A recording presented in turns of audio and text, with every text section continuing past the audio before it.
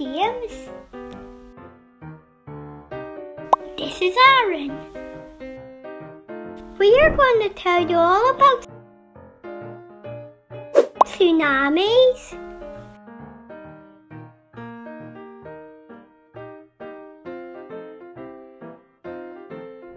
Hey Aaron, I've just been reading about tsunamis.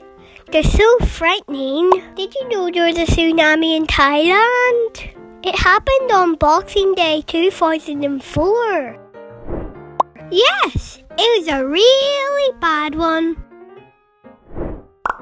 But what actually is a tsunami? Is it just a big tidal wave? Tsunami is a large ocean wave usually caused by an underwater earthquake or a volcanic explosion.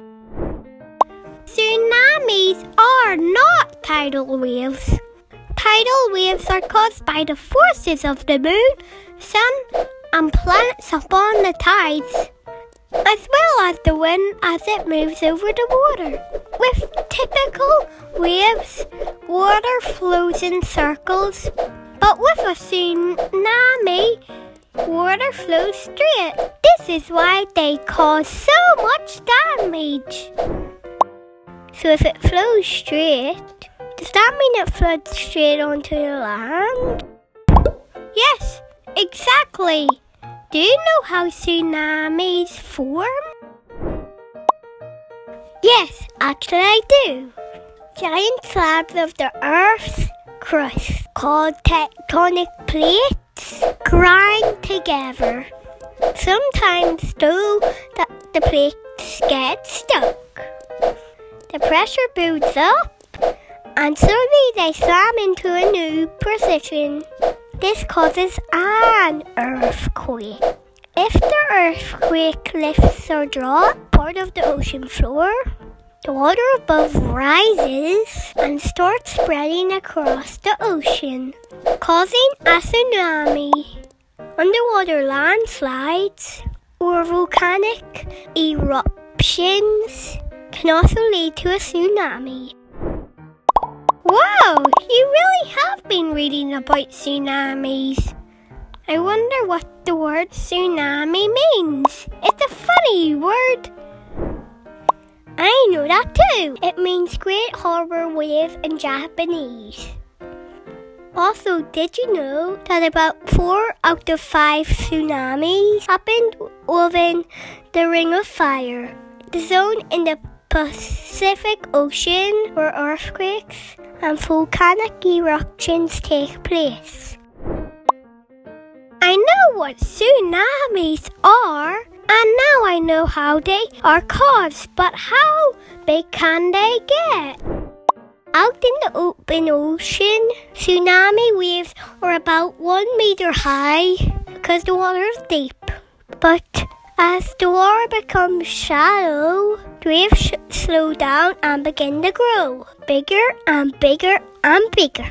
They can rise to 35 meters or higher. That's the same of a 10 floored block of flats. The scariest thing about tsunamis is their wavelength. This determines how far inland it can travel. A large wave caused by a storm might have a wavelength about up to 150 meters. But a tsunami can reach up to a mighty 1,000 kilometers. That really is scary.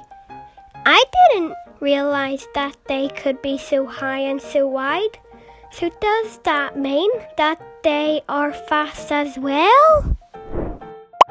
Yes, you'll never believe how fast. I read in National Geographic that a tsunami can race across the ocean at incredible 970 kilometers per hour.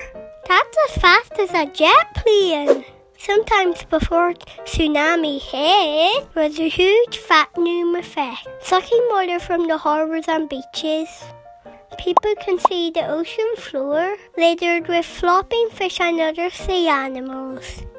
Poor little creatures. Then a wave blasts onto the shore a minute later. then another and another for two hours or more. They may also be up to one hour between waves. Whoa, that's fast! No wonder so many people are killed and injured. Did you know that tsunamis cannot even be predicted? If a large earthquake does occur, PTWC can only forecast the tsunami behavior.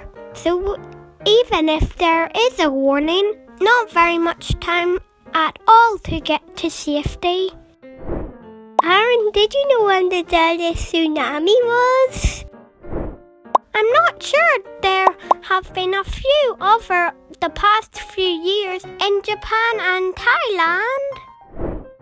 Well, lucky for you, I do actually know. The earthquake that started the Great Indian Ocean Tsunami of 2004, it happened in 2004 on the 26th of December. By end of the day, more than 150,000 people were dead or missing.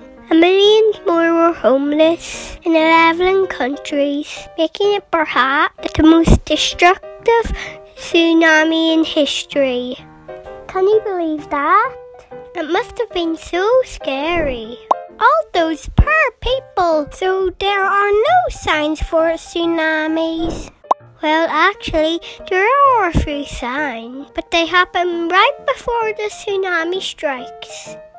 Like hard ground shaking for 20 seconds or more near the coast, or sometimes the ocean seems to move backwards. Loud booming noises may also be heard when the tsunami strikes.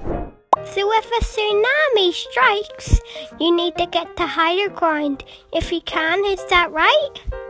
Yes, but only if it's here. Remember tsunamis can sweep boats from the sea onto the land, demolish buildings, drag cars for miles, derail trains, and rip up roads. Wow, James, do you really do know a lot about tsunamis? All that information has swept over me like a giant wave. Get it?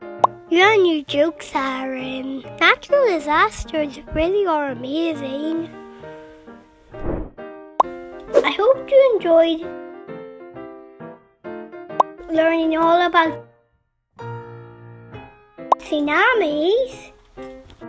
Don't forget to give us a like and subscribe. Please visit us at www.learningmole.com.